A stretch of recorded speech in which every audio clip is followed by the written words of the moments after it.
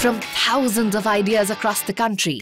The journey of Samsung Solve for Tomorrow 2025 now arrives at its big stage, the National Pitch event.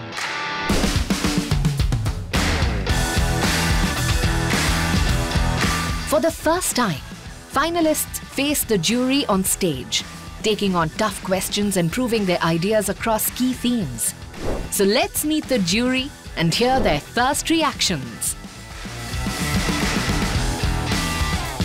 The pitches were quite diverse and they really did cover a wide variety of problems and solutions. Actually, two words. Uh, one would be really inspiring. Uh, the second one would be groundbreaking. One word to describe the pitches impactful. I can describe it in two words very promising and inspiring. Oh, don't even ask me this question. It was incredibly tough. Each and every pitch was full of passion and purpose and potential, so it was a pretty tough call for us. Oh, it was very difficult process for me to select one of them.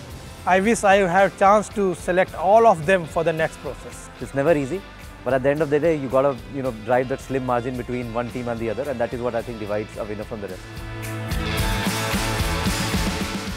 The vision of Young India that came through pitches is international impact, widespread reach, and youth empowerment. Their ideas were very inclusive in nature.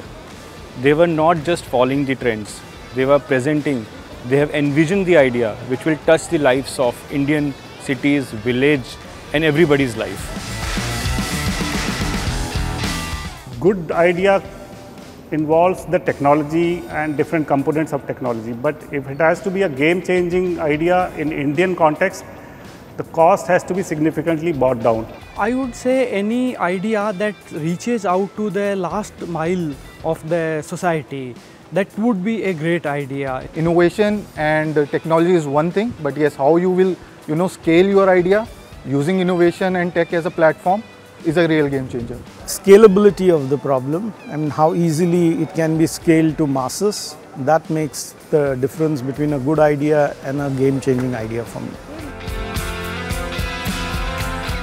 One thing which I like to tell to all the young participants are don't give up. This is just the beginning. You have already got a chance to come and do it. Align your stakeholders.